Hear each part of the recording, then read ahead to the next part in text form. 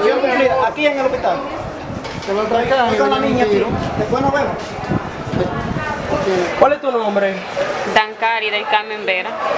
¿Qué fue lo que pasó contigo esta mañana? Yo iba a llevar al niño a la escuela y cuando yo venía ya para la casa, me encontré dos hombres que iban en un motor y me, y me dijeron párate y yo seguí en el motor, entonces se me tiró encima y me tiró en la cuneta, en la zanja, me tiraron. Y cuando yo iba a pararme, entonces me tiraron un tiro y me dieron un golpe ahí en la cabeza. ¿Y te despojaron de algo? Y me montó y se lo llevaron. ¿Cuántos eran? ¿Dos? Dos. Y, y- y tú lo describes, tú viste cómo eran ellos. ¿Tú lo Sí, ellos eran diecitos, flaquitos, altos, pero más de ahí no sé decirlo.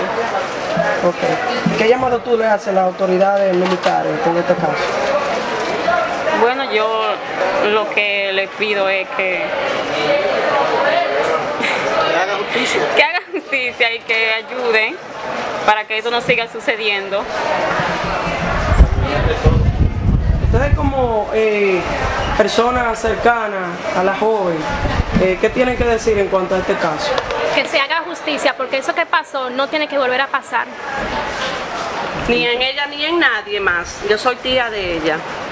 Pero que eh, eh, le damos gracias a Dios primeramente y después a la- las autoridades que, que ya actuaron y han actuado como debieron de actuar. Gracias.